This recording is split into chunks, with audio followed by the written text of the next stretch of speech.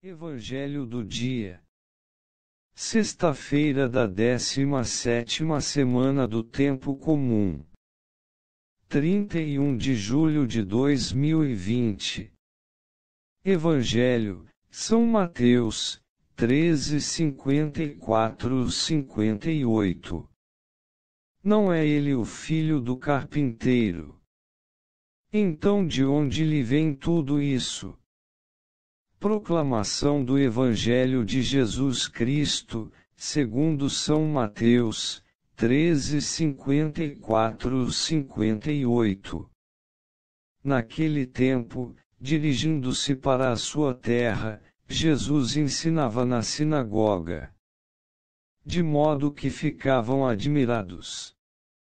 E diziam: De onde lhe vem essa sabedoria, e esses milagres? Não é ele o filho do carpinteiro.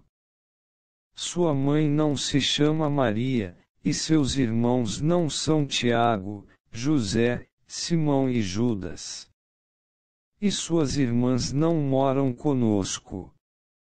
Então, de onde lhe vem tudo isso? E ficaram escandalizados, por causa dele, Jesus, porém, disse: um profeta só não é estimado, em sua própria pátria, e em sua família.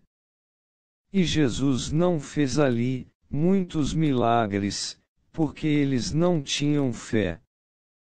Palavra da Salvação.